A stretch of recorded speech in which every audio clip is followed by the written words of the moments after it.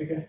So reaction with hydrogen में hydride formation में क्या होता है? बेसिकली जो हाइड्राइड फॉर्मेशन है वो नाइट्रोजन फैमिली के एलिमेंट कैसे करते हैं? Uh, इस तरीके से बनाते हैं। ई एच थ्री टाइप का हाइड्राइड बनाते हैं।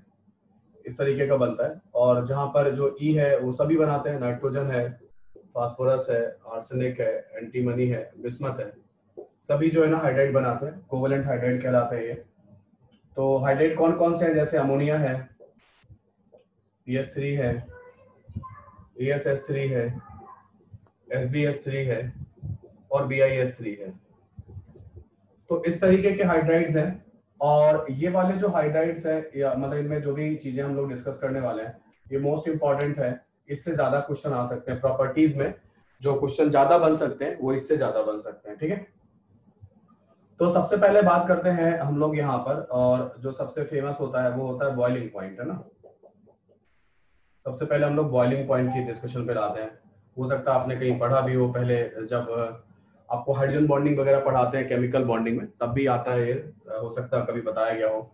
तो बॉइलिंग पॉइंट की बात करें तो बॉइलिंग पॉइंट का डेटा हमें बताता है कि बी आई एस थ्री का सबसे ज़्यादा है और एस बी एस थ्री का ज़्यादा है। तो कहीं ना कहीं बॉइलिंग पॉइंट जो है ना वो मॉलिकुलर मास से रिलेटेड है, ठीक है? मॉलिकुलर मास से रिलेटेड है बॉइलिंग पॉइंट तो बॉइलिंग पॉइंट के अंदर हम जो पाते हैं कि जो बॉइलिंग पॉइंट है, वो मॉलिकुलर मास से डायरेक्टली रिलेटेड होगा वॉन्डर फोर्स से रिलेटेड होगा, और उसकी वजह से क्या होगा, ये मॉलिकुलर मास के ज़्यादा होंगे। लेकिन यहाँ पे जो अमोनिया है अमोनिया का नाइट्रोजन एटम हाइड्रोजन बॉन्डेड होता है, उसकी वजह से क्या होगा, इसका बॉइलिंग पॉइंट बढ़ जाता है। लेकिन इतना नहीं बढ़ता कि वो इनसे आगे आ जाए। ठीक है, उसके बाद फिर से मॉलिकुलर मास का आ जाएगा ए और पी होना क्या चाहिए था? रेगुलर ऑर्डर जो होना चाहिए था, उसमें क्या होना चाहिए था? ठीक है रेगुलर ऑर्डर जो होना चाहिए था, उसमें ये होना चाहिए था कि अमोनिया का जो बॉइलिंग पॉइंट है, वो क्या होना चाहिए? वो इस तरफ़ होना चाहिए था, है ना? अमोनिया का बॉइलिंग पॉइंट जो है ना, वो इस तरफ़ होना चाहिए था, ठीक है? है ना? इस तरह ये होना चाहिए था और लेकिन ऐसा हुआ नहीं, क्यों नहीं हुआ? ऐसा इसलिए नहीं हो पा रहा है, ठीक है ऐसा इसलिए नहीं हो पा रहा है क्योंकि जो अमोनिया है, ठीक है ना, अमोनिया के अंदर हाइड्रोजन बॉन्डिंग पाई जाए होना क्या चाहिए था? लगातार कंसिस्टेंटली मॉलिकुलर मास घटना चाहिए था, उसके हिसाब से चलना चाहिए था। तो ये दोनों जो आपको दिखाई दे रहे हैं ऑर्डर ये मॉलिकुलर वेट के बेसिस पर है। ये जो दिख रहा है, ये किसके बेसिस पर है? ये हाइड्रोजन बॉन्ड के बेसिस पर है। और ये फिर से आपको जो दिखाई दे रहा है, ये आपका मॉलिकुलर मास के बेसिस पर है। नोट करिए। ठीक है तो मॉलिकुलर मास के बेसिस पर जो है ना जो है ना इस तरीके से हम लोग करेंगे। ओके तो ये कर लो आप, है ना, इस तरीके से।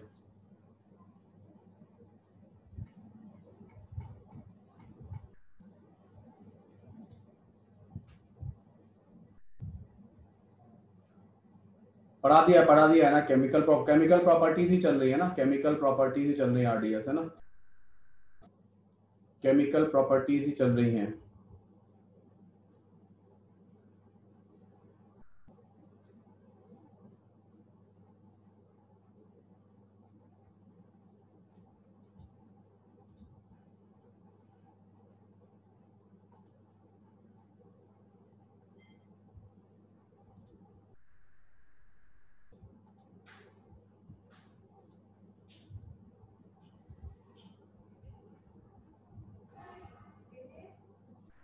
साउंड तो ठीक है यार साउंड में क्या प्रॉब्लम आ रही है? साउंड तो अच्छा खासा है यार। है ना? साउंड में किसको साउंड में क्या आ रही है? क्या प्रॉब्लम साउंड तो सही आ रहा है।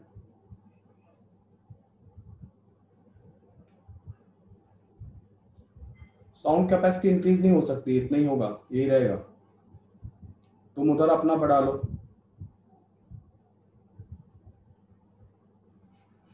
हाँ बिस्मत मेटल है bismuth is typical metal but hydride के केस में अपने को ऐसे ही चलना है है ना जो है ना हाइड्राइड के केस में अपने को ऐसा ही चलते जाना है, जैसा ये बताया जा रहा है है ना, इस तरीके से ही चलता है। बिस्मत को प्लस थ्री स्टेट में ही मानेंगे यहाँ पे माइनस में नहीं मानते, ठीक है ना, इसीलिए उसके कुछ बिहेवियर वैसे नहीं है मतलब एस ब्लॉक के मेटल के जैसे नहीं है, समझे? एस ब्लॉक के मेटल के जैसे नहीं है बट कुछ जो है ना, उससे मैच करेंगे। ओके तो बॉइलिंग पॉइंट का कंप्लीट कर लिया आपने तो बॉइलिंग पॉइंट कंप्लीट है आपका। नाउ नेक्स्ट आप लोग लिखोगे, और वो है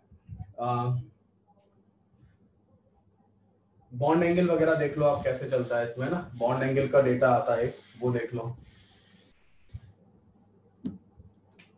तो दूसरा जो प्रॉपर्टी है, वो है हमारा, वो है बॉन्ड एंगल का डेटा है।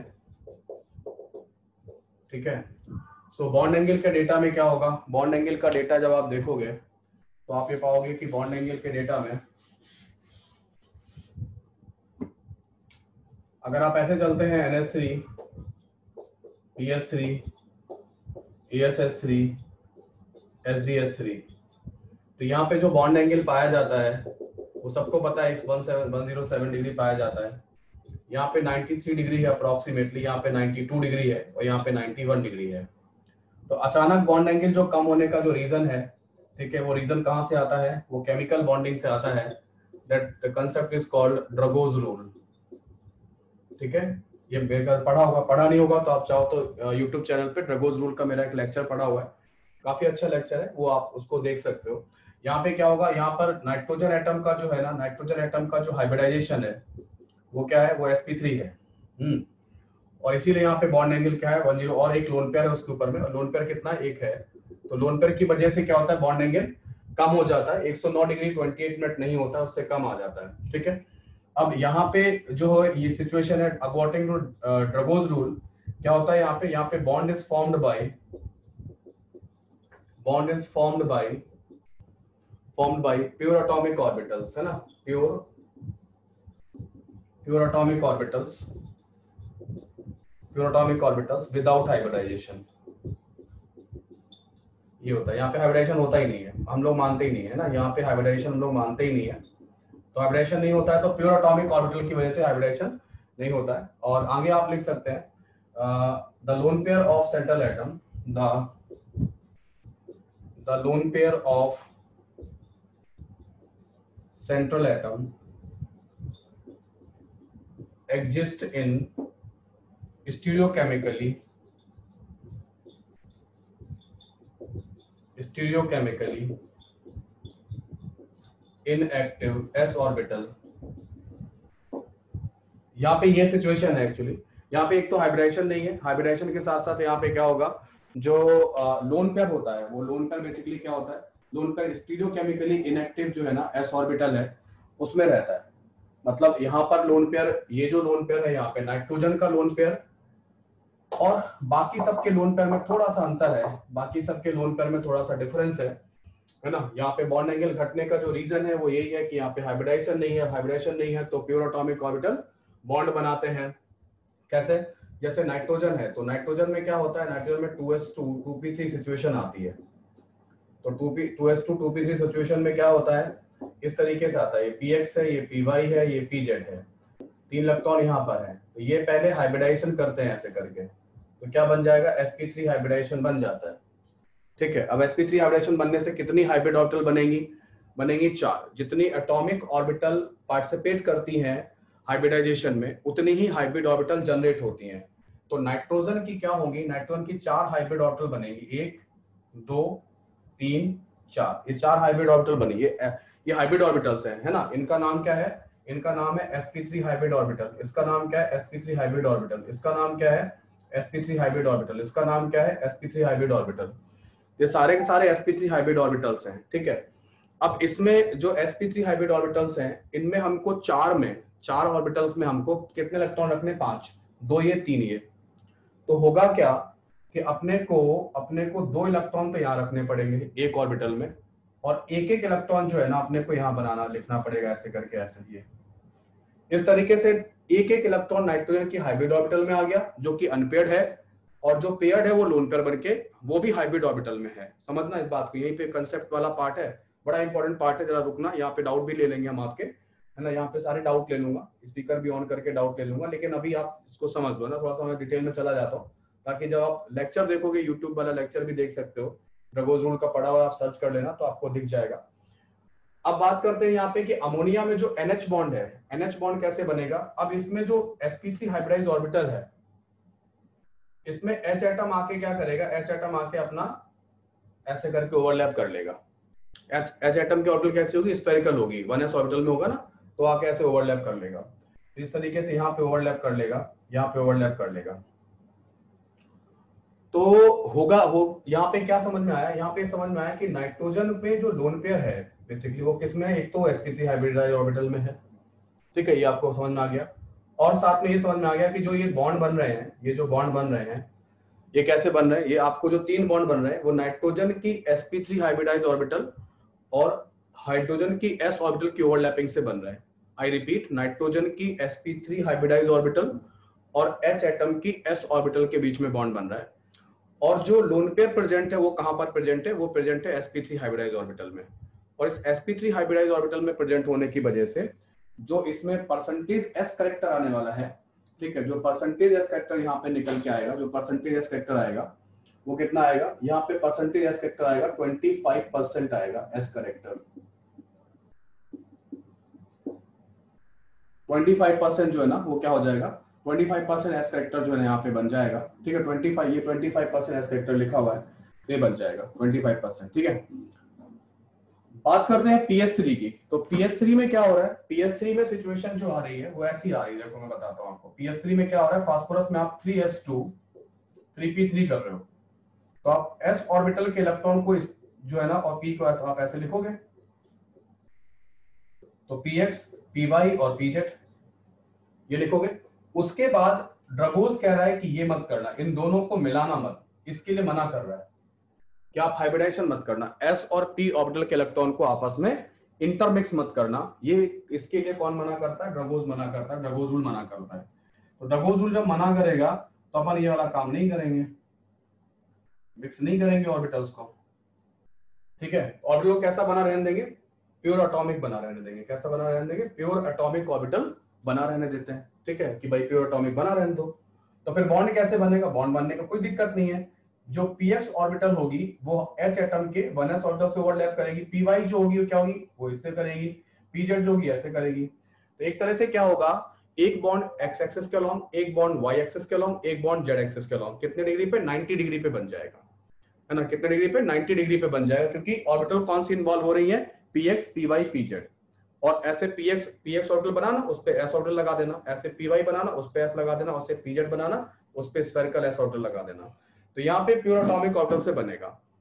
तो s ऑर्बिटल जो प्रेजेंट जो s का इलेक्ट्रॉन था, वो तो पूरा का पूरा 100% s के पास ही रहा ना।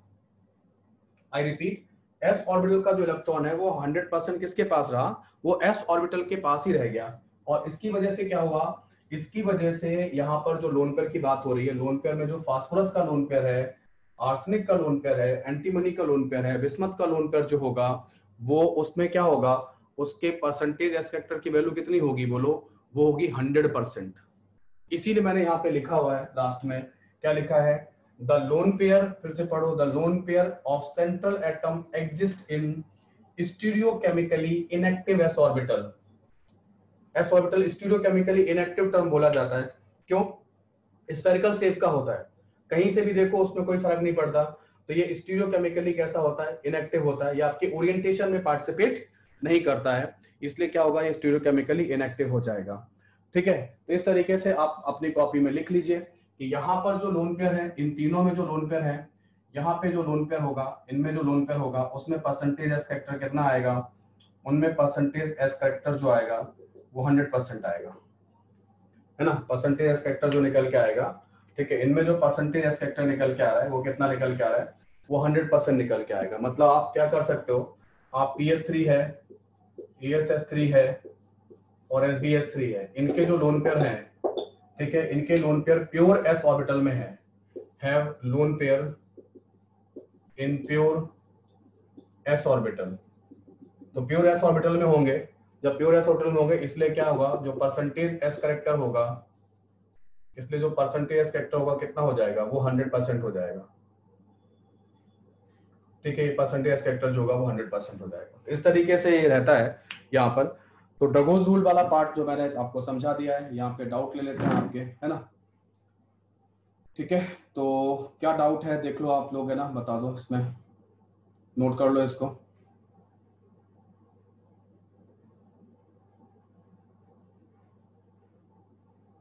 एस ऑर्बिटल के जो लोन पेयर और sp3 हाइब्रिडाइज ऑर्बिटल के लोन पेयर में अंतर ये है कि जो एस ऑर्बिटल का जो लोन पेयर है, उसमें 100 परसेंट एस करेक्टर है और उसकी वजह से वो स्पेरिकल शेप की प्योर स्पेरिकल शेप की ऑर्बिटल में रहेगा, जिससे उसका न्यूक्लियस के पास का जो डिस्टेंस है, वो कम रहेगा न्यूक्लियस का अट्रैक्शन फोर्स उस पर ज़्यादा रहेगा।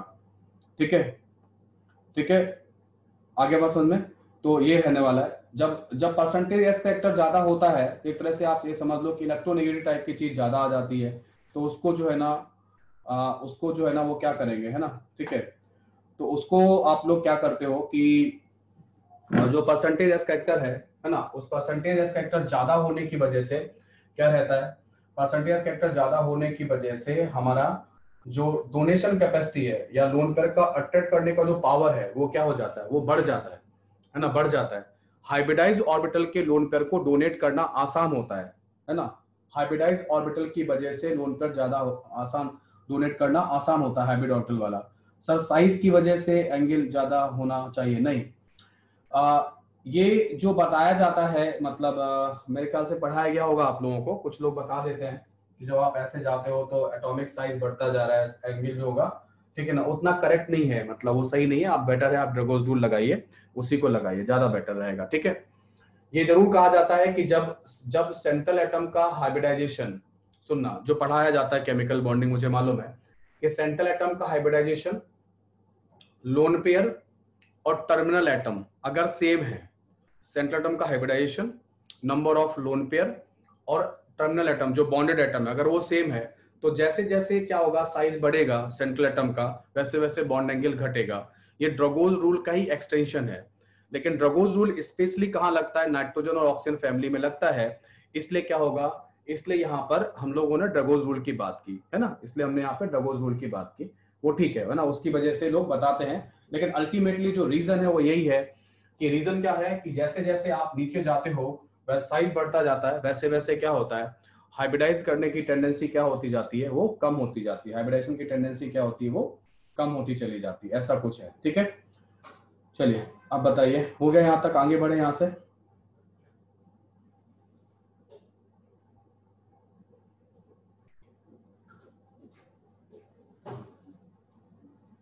परसेंटेज फैक्टर क्या होता है? ये भी बताना पड़ेगा। ओके रुको। ओके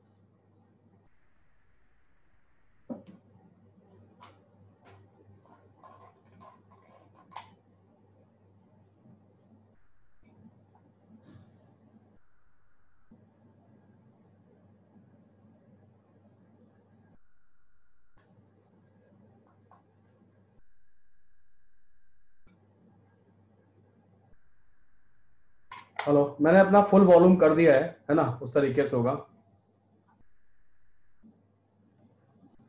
बॉइलिंग पॉइंट के बारे में हाँ बॉइलिंग पॉइंट के बारे में आ, जो है ना हर्ष वो डेफिनेटली डोमिनेट करता है ठीक है ना? डोमिनेट करेगा लेकिन इतना डोमिनेट नहीं कर पाता है कि वो मॉलिकुलर वेट से ज़्यादा निकल जाए। पूरा नहीं पूरा डोमिनेट नहीं कर पाता है ना? डोमिनेट तो किया थोड़ा सा ही आगे आ पाया ज़्यादा हंड्रेड परसेंट पूरा आगे नहीं आ पाता है। ठीक है? तो उसको ध्यान रखना पड़ेगा तुमको बॉइलिंग पॉइंट के इस ऑर्डर को। बढ़ तो गया, लेकिन इतना नहीं बढ़ा कि उसने तुम्हारा जो है ना ऑर्डर को कंप्लीटली नहीं बदला। बॉइलिंग अमोनिया थोड़ा सा आगे आ गया, है ना?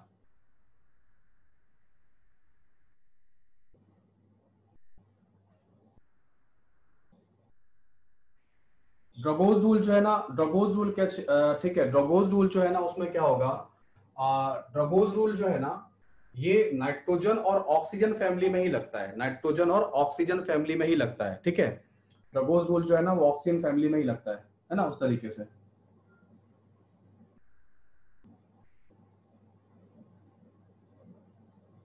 ड्रगोज रूल जो है ना आ, वो है उस तरीके से। अच्छा बॉन्ड एंगल की स्पेलिंग गलत लिखी हुई है बॉन्ड एंगल की स्पेलिंग गलत लिखी हुई है।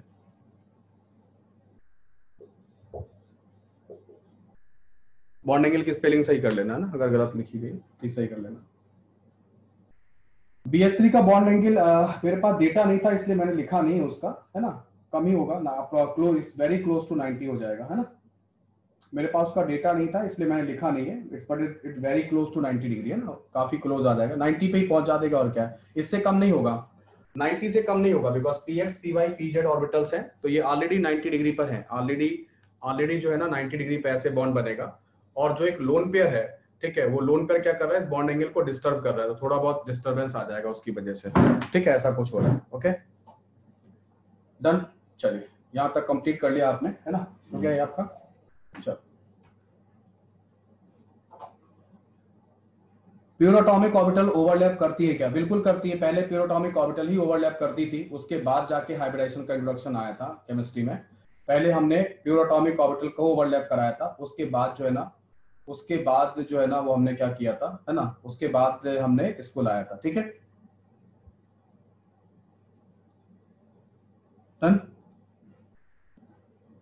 एंगल स्ट्रेन का यहाँ पे कोई रोल नहीं है। एंगल स्ट्रेन का यहाँ पे कोई रोल नहीं है।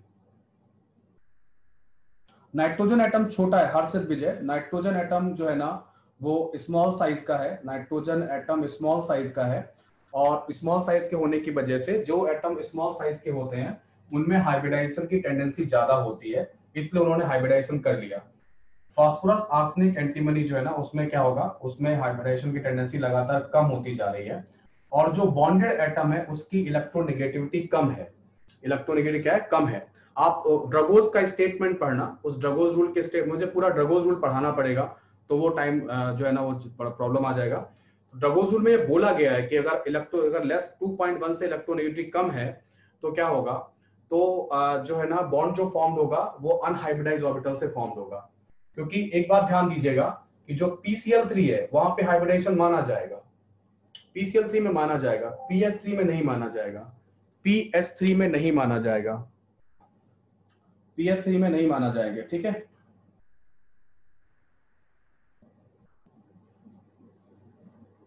जॉन हटन ये कौन है? है ना? अमोनियम नाइट्रेट का क्या ब्लास्ट कर सकते क्या क्या चक्कर? है करवा देंगे ब्लास्ट अभी क्यों परेशान हो रहे हो ना? आने तो, तो पढ़ा दूँगा है ना? ठीक है? करवा देंगे ब्लास्ट ब्लास्ट सब करवा देंगे ठीक है?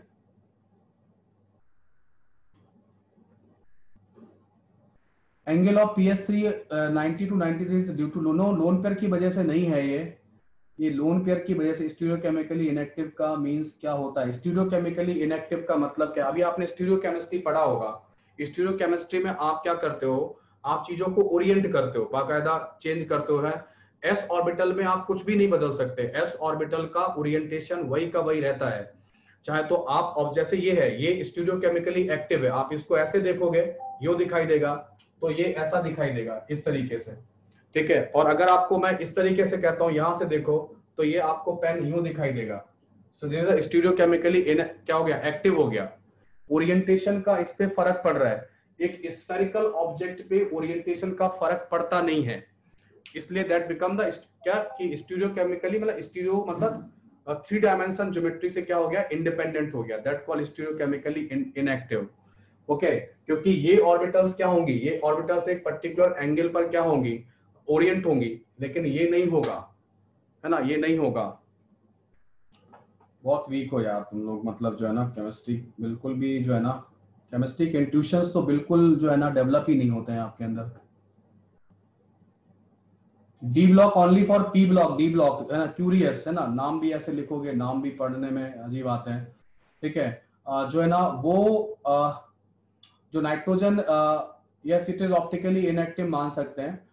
नाइट्रोजन फैमिली में और ऑक्सीजन फैमिली में ही लगता है ड्रगोज रूल, है ना? ड्रगोज रूल के बारे में, ठीक है, चलो यहाँ पे डिस्कशन बंद करते हैं। ठीक है? हो गया यहाँ पे। ड्रगोज रूल जो है ना, वो नाइट्रोजन ऑक्सीजन फैमिली में लगता है। ठीक है?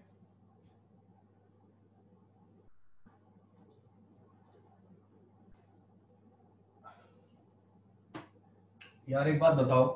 आपको ये कह रहा है हंड्रेड परसेंट का मतलब समझा दो। जब वो एस ऑर्बिटल में ही है तो वो उसी में है ना तो हंड्रेड परसेंट आप जैसे जिस रूम में बैठे हुए हो तो जिस रूम में बैठे उसमें हंड्रेड परसेंट ही बैठे हुए हो ना, कि उसका आपका कुछ पार्ट किसी और ऑर्बिटल में गया नहीं गया है ना। यहाँ पे क्या हो रहा है, यहाँ पे जब आप एस की थ्री हाइब्रिड ऑर्बिटल कर रहे हो तो एक एस है और तीन पी है। तो एस का कितना पार्ट आया? ऐसे आया, एक बटे चार इंटू सौ that become twenty five percent ऐसे आया। चार ऑर्बिटल में से एक ऑर्बिटल एस का है तो एक बटे चार इंटू क्या हो जाएगा? सौ, ये ट्वेंटी फाइव परसेंट आया। अब अगर एक ऑर्बिटल में लोन पेयर है तो फिर क्या होगा? इन चार में से एक पे है ना? तो क्या होगा? हंड्रेड परसेंट ही आएगा। एक ही एस में ही है ना तो हंड्रेड परसेंट ही आएगा। ठीक है?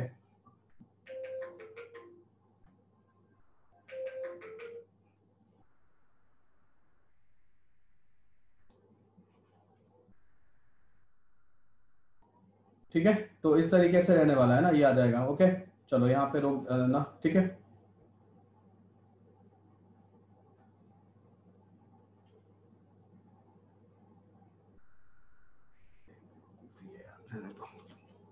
नोट कर लो है ना? बेटर है। कभी कभी लगता है कि तुम लोगों को पढ़ाने की कोशिश ही मत करो।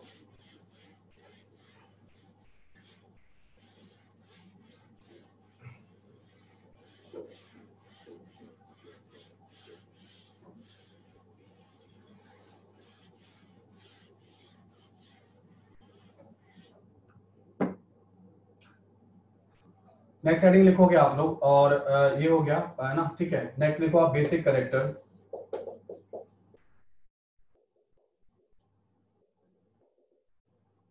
बेसिक करेक्टर में क्या होगा? बेसिक करेक्टर में आप जब जाओगे ऐसे N S three P S three E S S three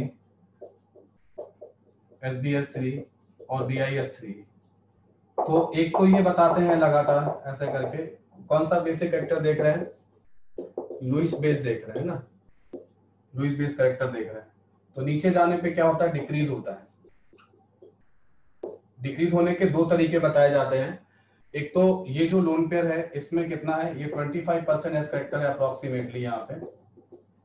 approximately 25 है, थोड़ा सा इससे ज़्यादा हो जाता है, जब कैलकुलेट करके लाते हैं। और यहाँ पे जो लोन पेयर है, वो किसका है? वो 100 परसेंट एस करेक्टर रखता है। तो जैसे जैसे परसेंटेज एस करेक्टर बढ़ता है वैसे वैसे लोन पेयर का डोनेशन कम होता जाता है है ना? बेसिक करेक्टर क्या होता है? कम होता जाता है। ओके अब जब इधर से नीचे एक तो तरीका ये ये पहला मेथड है जो कि एस कैरेक्टर के बेसिस पे समझाया जाता है। आईटी ने इस पे एक पैसेज बनाकर क्वेश्चन भी पूछा हुआ है। और जो बातें मैंने अभी क्लास में थोड़ी देर पहले की थी वो सारी बातें लिखकर उन्होंने पैसेज पे क्वेश्चन सारे बता बना, बनाया हुआ है। ओके और उसके बाद एक तरीका और भी लोग समझाते हैं कि जैसे जैसे साइज़ बढ़ता जाता है जिस जिस एटम पे लोन पेयर है नाइट्रोजन फास्फोरस आर्सेनिक एंटीमनी जिसपे जो है, क्या है जिसपे लोन पेयर है साइज़ बढ़ने की वजह से उस लोन पेयर का डोनेशन जो होता है वो कम होता है, क्योंकि डिस्ट्रीब्यूशन ज़्यादा हो जाता है तो लोन पेयर की अवेलेबिलिटी कम होती है तो डोनेट करना मुश्किल हो जाता है। ये बिल्कुल वैसा ही है। जैसे कि आपके पॉकेट में मान लो, अगर वन थाउज़ेंड रुपए एक ही पॉकेट में रखें तो कोई निकालेगा तो पूरा निकाल सकता है एक साथ, ले जाएगा। ठीक है? लेकिन अगर अलग अलग पॉकेट में रखे हुए हैं hundred hundred rupees ten pocket में आपने रख लिए तो क्या होगा? किसी को देना भी मुश्किल है, किसी को लेना भी मुश्किल है है ना? तो वैसा ही है कि इलेक्ट्रॉन पेयर अगर इलेक्ट्रॉन डिस्ट्रीब्यूट हो गया, बड़े सरफेस पे, बड़े सरफेस पे डिस्ट्रीब्यूट हो गया तो उसका डोनेशन कैपेसिटी कम हो जाएगा। ऐसे भी है। तो दोनों रीजन लिखे जाते हैं, साइज़ का रीजन भी लिखा जाता है, ये वाला भी बताते हैं। दोनों ही है। अब कैसा क्वेश्चन आता है, उसके हिसाब से आप आंसर कर सकते हो, दोनों को ही सही माना जाएगा। तो क्या होगा कि जो साइज़ बढ़ना जो रीजन है वो यही है कि as the size of central atom increases ठीक है ना? लुइस बेस करेक्टर क्या होगा? डिक्रीज हो जाएगा। तो मैं स्टेटमेंट कंप्लीट करता हूँ। As the size of size of central atom central atom increases increases. Lewis base Lewis base character decreases. ये रहेगा। और ये सब जगह है। ये सभी, ये यहाँ नहीं है, ये सभी जगह ऐसा होगा। है ना? ये आप ऑर्गेनिक केमिस्ट्री में पढ़ो, इनऑर्गेनिक में पढ़ो, कहीं पर भी आपको किसी भी तरीके का एसिड बेस कैरेक्टर पढ़ाया जाएगा, इसी तरीके से पढ़ाया जाता है। ठीक है? तो ये आपको इस तरीके से कंप्लीट हो जाएगा, है ना? ओके डन चलिए। नोट करो, आगे बढ़ते हैं यहाँ से, ठीक है?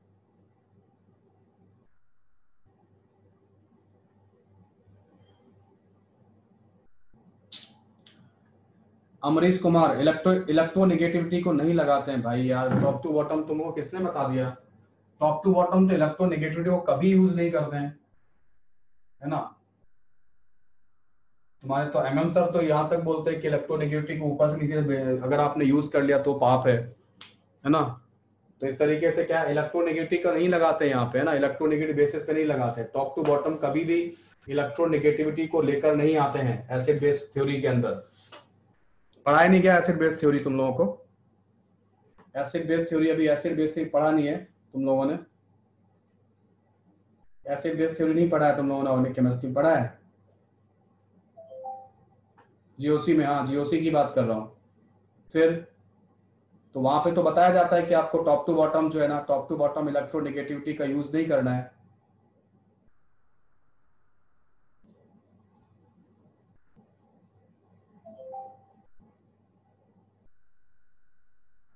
Electronegativity top to bottom use नहीं की जाती कोई बात नहीं आप अभी लिखो है ना? कभी मत यूज़ करना। टॉप टू बॉटम जब भी कोई आंसर कर रहे होगे ना उसमें तुमने इलेक्ट्रोनेगेटिविटी का अगर यूज़ कर लिया तो पक्के से वो जहाँ पे तुमने ई लिखा होगा ना वहीं से पेन रखेगा काट देगा पूरा आंसर है ना? जहाँ पे तुमने इलेक्ट्रोनेगेटिव लिखा होगा अकॉर्डिंग टू इलेक्ट्रोनेगेटिव जैसे ही वही वही पेन रखेगा वहीं से पूरा आंसर काट देगा। कभी यूज़ ही नहीं होती। इलेक्ट्रोनेगेटिविटी कभी यूज़ नहीं होती टॉप टू बॉटम कोई भी चीज़ को आंसर करने में। ठीक है? हमेशा साइज़ का ही चीज़ आपको यूज़ करना है ओके तो ये हमारा बेसिक करेक्टर वाला भी कंप्लीट हो गया। Now discuss about the thermal stability and reducing power है ना? नेक्स्ट हेडिंग लिखो आप लोग, और वो है थर्मल स्टेबिलिटी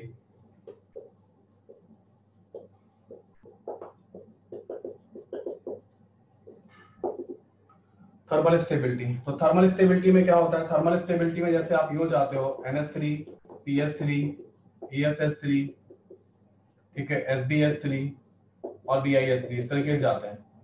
तो यह थर्मल स्टेबिलिटी जो होता है, ये भी डिक्रीज करता है डाउन द ग्रुप ठीक है डिक्रीज करने का जो रीजन देते हैं कि as the as the EH bond length EH bond length EH bond length increases EH bond length increases bond energy decreases and thermal stability thermal stability also decreases thermal stability also decreases ठीक है thermal stability also decreases है ना और ये जो मैंने stereochemically inactive की बात की है ना स्टीरियोकेमिकली इनएक्टिव में बहुत इंपॉर्टेंट टर्म है स्टीरियोकेमिकली इनएक्टिव छोटा मोटा टर्म नहीं है स्टीरियोकेमिकली इनएक्टिव वाला जो पार्ट है है ना?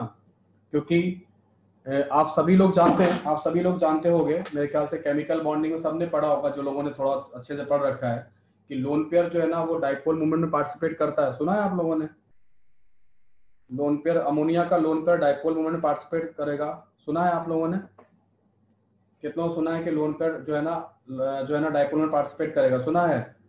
पीएच का नहीं करेगा। पीएच का लोन पेयर डाइपोल मूवमेंट में कंट्रीब्यूट नहीं करेगा। जब भी lone pair 100 percent S character रखे हुए होगा ना प्योर एटॉमिक एस ऑर्बिटल में होगा ना तो stereo chemically inactive S orbital होती है। उसमें लोन पेयर जो है ना पी का लोन पेयर जो है ना, वो डाइपोल मूवमेंट में पार्टिसिपेट नहीं करेगा। क्योंकि वो stereo chemically inactive S orbital में है, या वहाँ पे बताया बताया जाना चाहिए होगा। मेरे हिसाब से वहाँ पे यूज़ किया होगा ये लैंग्वेज नहीं यूज़ किया तो आज सुन लो। और यूट्यूब वाला जो लेक्चर है ड्रगोज रूल का, वो ज़रूर देख लेना। वेबसाइट पे भी पढ़ा हुआ सब जगह पढ़ा हुआ है। देख लेना एक बार। अच्छा लेक्चर बहुत अच्छा लेक्चर है। देख लेना।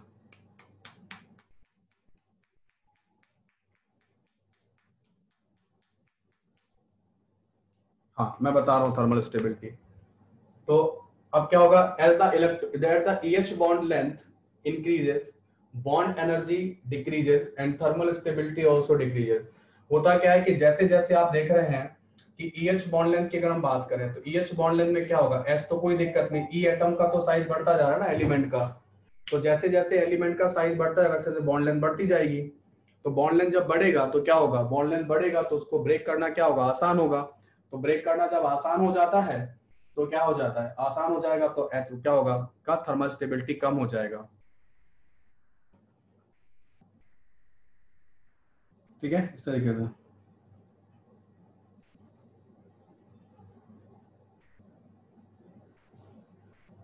ठीक है? एमएम सर हम लोगों ने 10 साल साथ में काम किया है। ठीक है इतना तो आ, काफ़ी कॉमन बैच है इतना तो एक दूसरे के बारे में जानते ही है ना बच्चे बात करते ही रहते हैं। कोचिंग इंडस्ट्री में सर के बारे में ही बातें होती हैं और ज़्यादा बातें नहीं होती है ना? ठीक है?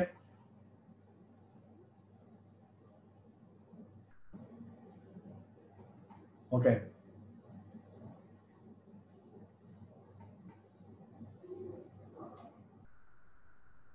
सो ये कंप्लीट हो गया आपका ठीक है? क्लियर हो गया? Okay okay, done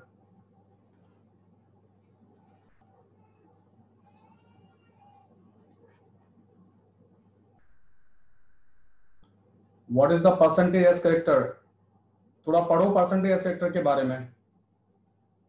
थोड़ा पढ़ो परसेंटेज कैरेक्टर के बारे में, थोड़ा सा पढ़ो, है ना? जानो क्या होता है परसेंटेज कैरेक्टर थोड़ा जानो। तो थर्मल स्टेबिलिटी क्लियर है सबको। जैसे जैसे ये वाला बॉन्ड लेंथ बढ़ता जाएगा, उसको ब्रेक करना क्या होगा? सिंपल सा फंडा है बॉन्ड एनर्जी और बॉन्ड लेंथ आपस में इनवर्सली प्रोपोर्शनल जितना बड़ा बॉन्ड लेंथ होगा, उतना कम बॉन्ड एनर्जी होगा, उतना इनका थर्मल स्टेबिलिटी कम होता जाएगा। ठीक है? डन तो यहाँ पे हमने कर लिया। नाउ नेक्स्ट हेडिंग लिखो आप लोग, और वो है रिड्यूसिंग पावर रिड्यूसिंग पावर है ना? ये भी एक अच्छा और इम्पोर्टेंट कंसेप्ट है। इसके बेसिस पे हम लोग कुछ रिएक्शंस भी करने वाले हैं, अभी आज क्लास में करेंगे। और वो है रिड्यूसिंग पावर है ना?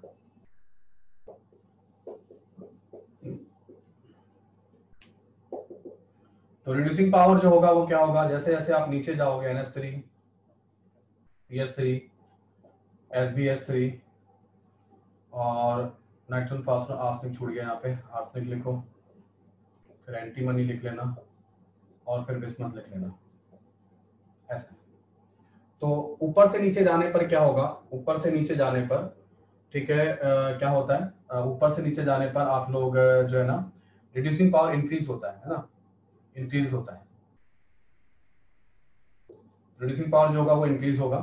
और इसका जो एक्सप्लेनेशन है, वो क्या है, ये है कि as the as the EH EH bond length है ना? एलिमेंट और हाइड्रोजन के बीच का जो बॉन्ड लेंथ है, वो बढ़ेगा। Bond length increases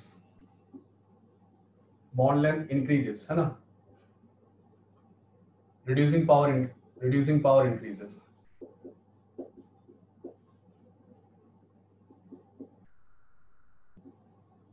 increase because because to get atomic hydrogen H atom for reduction for reduction become easy. As bond energy decreases decreases down the group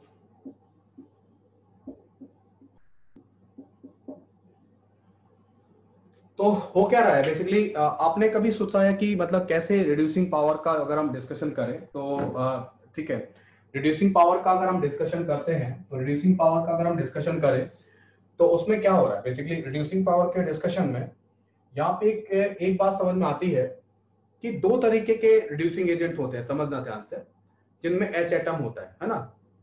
एक होते हैं मेटल वाले मेटल वाले बिल्कुल इस तरीके से एनएच वाले। ऐसे ये भी रिड्यूसिंग एजेंट होते हैं, क्योंकि यहाँ पे एच एटम माइनस वन में प्लस वन में सोडियम प्लस वन में। ये ये आयनिक हाइड्राइड कहलाते हैं। कैसे कहलाते हैं? आयनिक हाइड्राइड कहलाते हैं।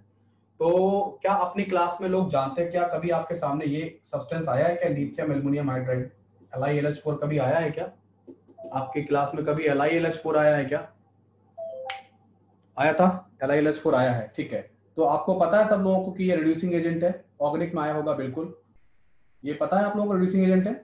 यस पता है, ठीक है? और ये बहुत अच्छा रिड्यूसिंग एजेंट है। क्यों है? क्योंकि इसमें एच एटम किससे जुड़ा है? मेटल से जुड़ा हुआ है। और एच एटम का ऑक्सीजन नंबर यहाँ माइनस वन में है लोएस्ट में है लोएस्ट में है। तो लोएस्ट में होने की वजह से क्या होगा? इसे जब भी रिएक्ट करना है, अपनी ऑक्सीजन नंबर बढ़ानी पड़ेगी।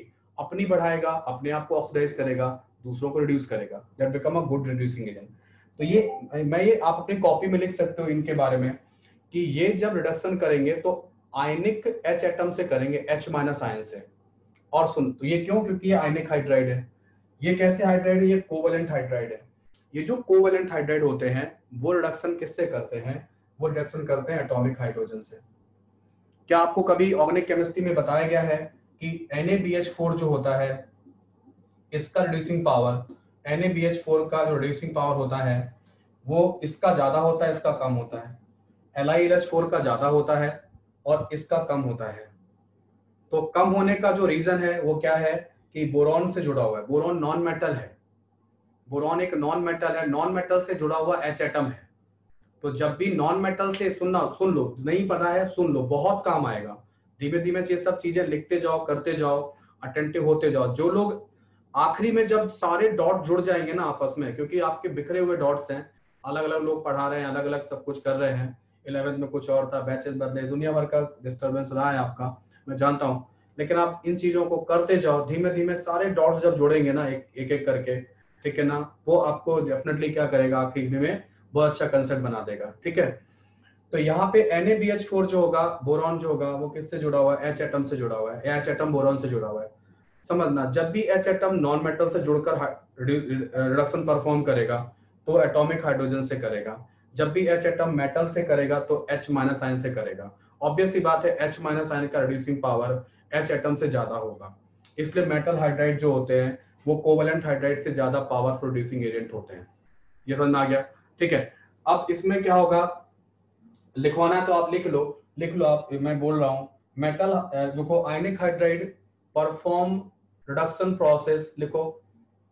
Ionic hydride perform reduction process through through H minus ion through H minus ion ठीक है? Covalent hydride perform reduction process by atomic hydrogen atomic hydrogen मतलब एच एटम एच एटम की बात हो रही है। नेसेंट अच्छा एक आप अच्छी लैंग्वेज जानते हैं। नेसेंट हाइड्रोजन ये नेसेंट हाइड्रोजन देगा। ठीक है? एच एटम एटॉमिक फॉर्म में देगा। ये आयन के फॉर्म में देगा। तो हमेशा ध्यान रखना कि किसी भी आयन का रिएक्टिविटी उसके न्यूट्रल एटम से ज़्यादा होता है। है ना? ठीक है? तो आप लिख सकते हैं covalent hydride perform reduction process reduction process through atomic hydrogen through atomic hydrogen ठीक है? इस तरीके से होगा। तो जब भी जब भी आपकी पूरी केमिस्ट्री में रिडक्शन पावर की बात आए और हाइड्राइड आपके सामने आए तो देख लेना कि यार एच एटम पे चार्ज आ रहा है क्या? अगर एच एटम पे प्लस चार्ज आ रहा है, जैसे यहाँ पे एच एटम पे एच एटम जो है ना, अगर कोवलेंट हाइड्राइड से आ रहा है तो कोवलेंट हाइड्राइड से जब एच एटम आएगा तो क्या होगा? कोवलेंट हाइड्राइड वाला एच एटम क्या करेगा? वो उसका रिड्यूसिंग पावर कम होगा बिकॉज़ वो एटॉमिक हाइड्रोजन से चलेगा। तो यहाँ पे आपको समझ में आ गया होगा कि लगातार एटॉमिक हाइड्रोजन को मिलना एटॉमिक हाइड्रोजन को गेन करना, लगातार इजी होता जा रहा है। क्यों? क्योंकि बॉन्ड एनर्जी कम होती जा रही है। यहाँ पे एनएच बॉन्ड को तोड़ना, फिर यहाँ पीएच बॉन्ड को तोड़ना, यहाँ पे आर्सनिक और एच बॉन्ड को तोड़ना, यहाँ पे एच बी एच बॉन्ड को तोड़ना। तो लगातार क्या होगा? लगातार जो है ना वो क्या होता है? है ना, वो एच बॉन्ड जो होगा, आसानी से मिलता जाएगा, आसानी से मिलता जाएगा। तो क्या होगा? रिड्यूसिंग पावर बढ़ती जाएगी। ऐसा कुछ है। ठीक है? ठीक है ओके क्या जाएगा।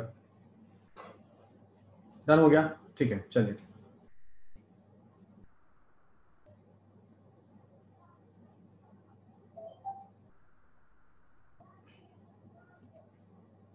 चलो यहाँ तक समझा दिया है यहाँ पे, ठीक है? इसीलिए क्या होगा, आप एक स्टेटमेंट लिख लो अपनी कॉपी में तो आपने कर ही लिया है कि P S three is a better reducing agent than ammonia है ना? P S three P S three is a is a better reducing agent reducing agent than ammonia ammonia से ज़्यादा अच्छा रिड्यूसिंग एजेंट होता है है ना? अमोनिया से ज़्यादा अच्छा रिड्यूसिंग एजेंट कौन होता है? पी एस थ्री होता है, ठीक है? और इस पर हम लोग थोड़ा सा और डिस्कशन कर लेते हैं कि कैसे होता है। इस पर एक काम और कर लेंगे, ठीक है? देखो जरा। इसका प्रूफ है है ना? ये प्रूफ है इसका आपका, है ना? ठीक है, इस तरीके से। और यहाँ पर आपको दिख रहा होगा कि जब हम अमोनिया को पास करते हैं कॉपर सल्फेट सोल्यूशन में प्रोडक्शन परफॉर्म नहीं होता है because ammonia is a reducing agent definitely it is a reducing agent but it is a mild reducing agent है ना? इसका जो रिडक्शन पावर है, वो क्या होता है? वो इससे कम होता है। ना? किससे? पीएस थ्री से। पीएस थ्री का थोड़ा ज़्यादा है, जैसा कि हमने बताया। तो इसको जब कॉपर सल्फेट से पास करते हैं तो पहले ये एक फॉस्फेट बनाता है।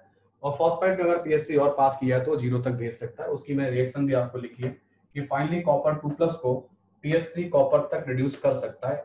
In a solution in a solution reduce कर सकता है। ठीक है? सिमिलरली एच के साथ एक रिएक्शन है, ये दे रखी है। इवन मैंने एक सिल्वर नाइट्रेट के साथ रिएक्शन दी है आपको कि फाइनली सिल्वर नाइट्रेट को क्या करेगा? सिल्वर तक पहुँचा सकता है। तो एजी प्लस आयन को भी क्या कर सकता है? एजी प्लस आयन को, है ना? एजी प्लस आयन को क्या कर सकता है बोलो एजी प्लस आयन को भी ज़ीरो तक ले जा सकता है, जो कि अमोनिया नहीं ले जा पाता। क्यों? क्योंकि अमोनिया के साथ जब एजी अमोनिया के साथ जब एजी प्लस आयन कंबाइन करता है तो आपको याद होगा इतना फ़ेमस कॉम्प्लेक्स हमने बार बार बनाया अपनी क्लास में इसको। तो कॉम्प्लेक्सेशन हो जाता है। समझे? कॉम्प्लेक्सेशन हो जाता है रिड्यूस नहीं होता है। ये आपको, ये कॉम्प्लेक्स आपको याद होगा कि सिल्वर के साथ जब अमोनिया कंबाइन करता था तो वो ये वाला कॉम्प्लेक्स बनाता था। तो ये प्रिडिक्टेबल है। थोड़ा अगर आप दिमाग में रखोगे चीज़ों को एग्जामिनर वगैरह, ये सब लोग जो है ना, इसी तरीके से नॉर्निक को डील किया जाता है और वो यही सबसे क्वेश्चन लेकर आते हैं कि स्टूडेंट को ये वाले फंडामेंटल्स पता होने चाहिए।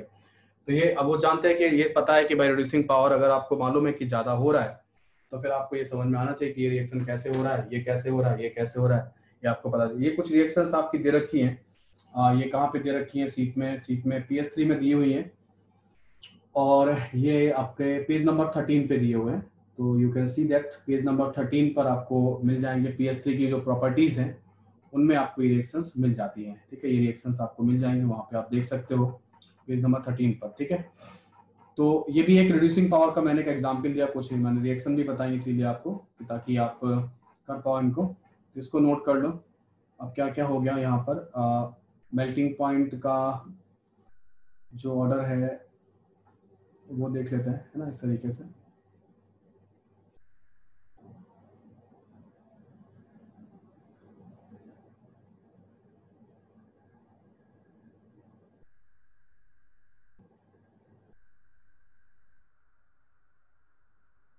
चलिए नोट कर लो आप, है ना? एक दो चीज़ें और बची हैं, उनको देख लेते हैं, फिर उसके बाद जो है ना, हम लोग क्लास को और आगे कंटिन्यू करेंगे, है ना? ठीक है?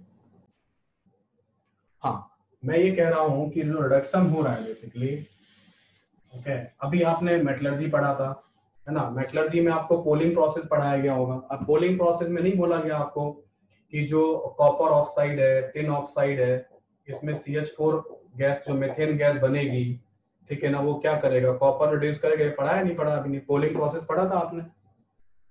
ये आया था, नहीं आया था पोलिंग प्रोसेस अब ये इसमें, ये जो सी एच फोर है, जो हाइड्रोकार्बन है, इसने कैसे रिड्यूस कर दिया?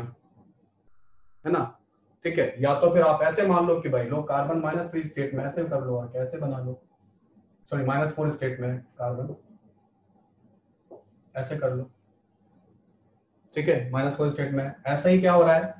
ऐसा ही यहाँ पर हो रहा है कि जो ये है कॉपर सल्फेट है कॉपर सल्फेट में भी पी एस थ्री जो होगा, है ना? पी एस थ्री जो होगा वो माइनस थ्री स्टेट में है। ओके माइनस थ्री स्टेट में है पी एस थ्री ये प्लस वन में माना जाएगा।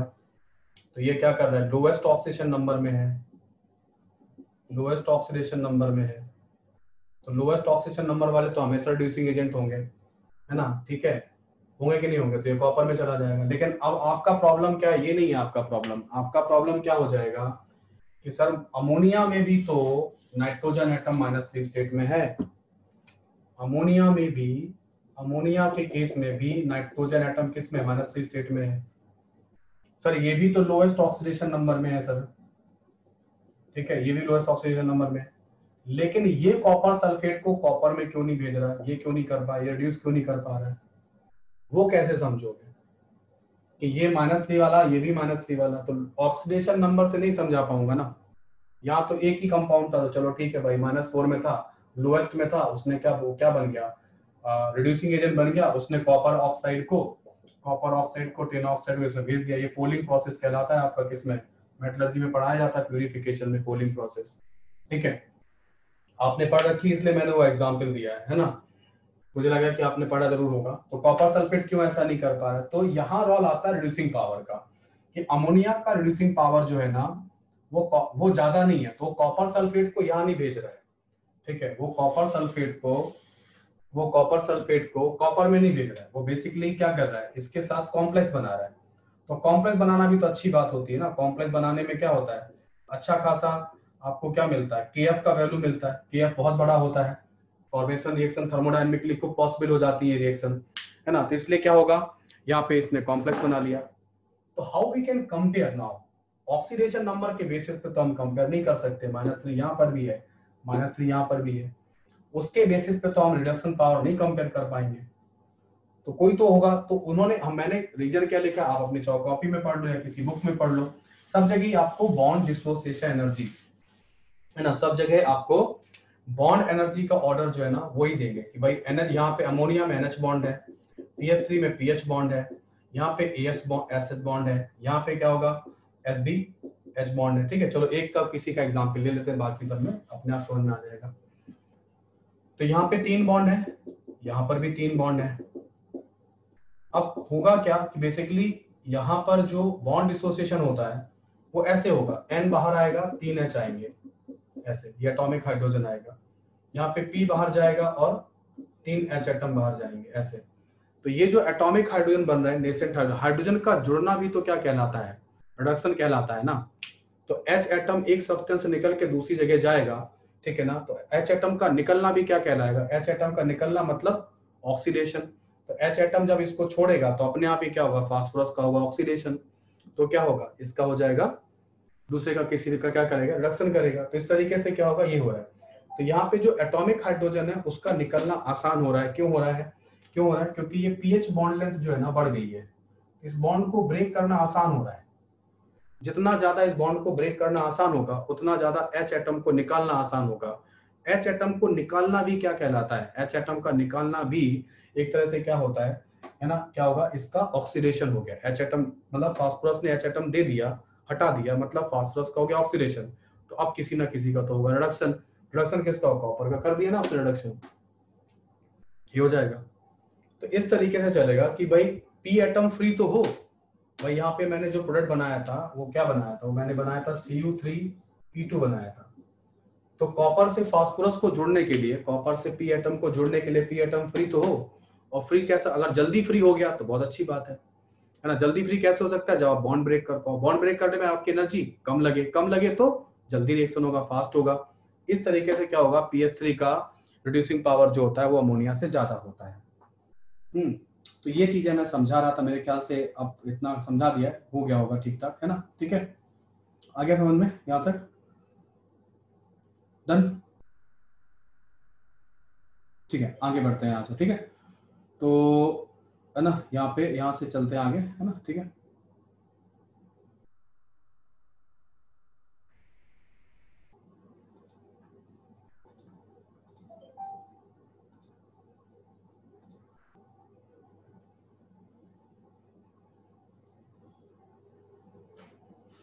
तीन से चार बार एक्सप्लेन कर दिया, फिर भी पता नहीं, फिर भी शायद मैं अनम्यूट करवा रहा हूँ आपको, आप बता दो क्या डाउट है। कर लो आप अनम्यूट जिसको भी अनम्यूट करना है। सर रिड्यूसिंग पावर और रिड्यूसिंग एजेंट मतलब एक दूसरे के अपोजिट होते हैं ना। रिड्यूसिंग एजेंट मतलब वो जो जो रिड्यूस करता है पावर मतलब उसकी शक्ति ताकत। खुद का रिड्यूस होना।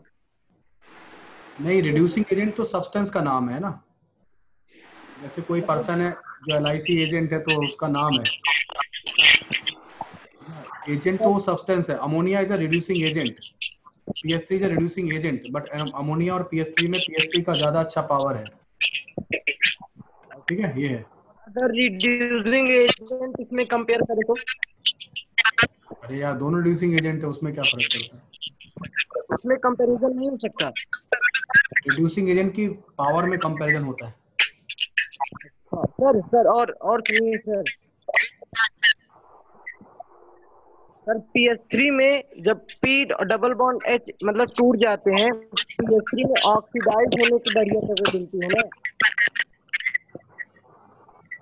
तो अपना माइक बंद करो। हाँ पूछो।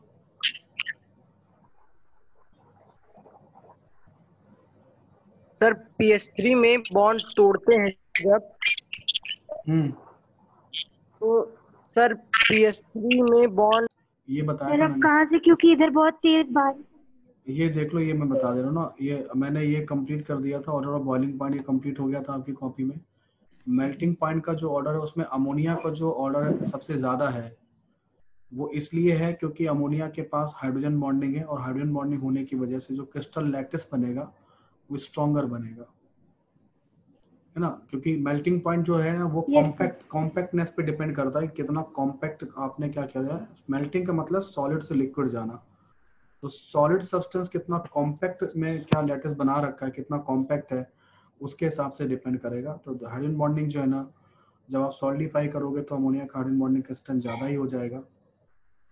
और उसके बेसिस पर आप एक्सप्लेन कर सकते हो कि अमोनिया का मेल्टिंग पॉइंट हाईएस्ट क्यों है।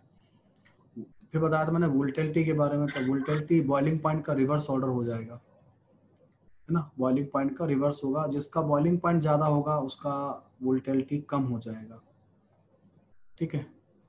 और उसके बाद है बेसिक करेक्टर बेसिक करेक्टर में समझा दिया है स्टेबिलिटी समझा दी है, बाकी चीज़ें मैंने समझा दी है।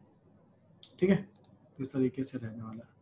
यस बाकी लोग भी बोल रहे क्या डाउट है अब आप लोगों के नरेश सब लोग ये लोग कुणाल वर्मा कर दीजिएगा case of nitrogen, all oxidant states from plus one to plus four हाँ tend to disproportionate in acid solution. Sir, हाँ। इसका कोई रीजन है क्या? हाँ रीजन है ना जब भी जब भी मिडिल ऑक्सीडेशन नंबर होगी ना बीच वाली बीच वाली है तो Yes. देखो लोएस्ट में लिख दो लोएस्ट ऑक्सीडेशन नंबर में एलिमेंट है तो, तो रिड्यूसिंग एजेंट हाईएस्ट में है तो ऑक्सीडाइजिंग एजेंट कोई भी एलिमेंट अपनी हाईएस्ट ऑक्सीडेशन नंबर में है तो वो है क्या? वो है एक तरह से ऑक्सीडाइजिंग एजेंट और अगर लोएस्ट में है तो वो है रिड्यूसिंग एजेंट ठीक है? अच्छा। और बीच में है तो ऊपर वीडियो नीचे अपलोड कर देना। हाँ हाँ ठीक कर दूँगा। बीच में अगर बीच में अगर है तो वो ऊपर नीचे दोनों जगह जा सकता है। तो मतलब इसके बीच वाला कंपाउंड आ गया तो वो ऊपर भी जा सकता ऊपर भी जा सकता है। चला जाएगा नीचे हाँ। चला जाएगा। नीचे तो वो ये सभी जगह वैलिड है। ये क्यों नाइट्रोजन की थोड़ी ना है। ये तो अच्छा। किसी भी एलिमेंट के लिए हो गया ना। कोई भी एलिमेंट अगर बीच में है तो डिस्प्रोपोर्शनेट कर सकता है। एक मिनट रुको एक मिनट रुको। हाँ बोलो क्या बात है बताओ। हम्म कौन कर रहा था? हेलो बोलो। हो गया? ठीक है खत्म करें क्लास यहाँ पे है ना? और सर ये पूछना था हाँ बोलो। सर आपने आज की क्लास में जो हमें प्रॉपर्टीज़ के जो एक्सप्लेनेशन दिए सर। सर वो एनसीईआरटी में भी लिखे हैं क्या कहीं पे? हाँ है। एनसीईआरटी में कुछ मिल जाएँगे आपको। मिल जाएँगे सर, पढ़ लीजिए। बिल्कुल मिल जाएँगे मिल जाएँगे। ये जो बॉन्ड लेंथ वाले वगैरह जो बताए थे ना वो मिल जाएँगे हैं। Okay sir. ठीक है और बताओ। हो गया? खत्म करें क्लास है ना? चलो ना डेढ़ बजे।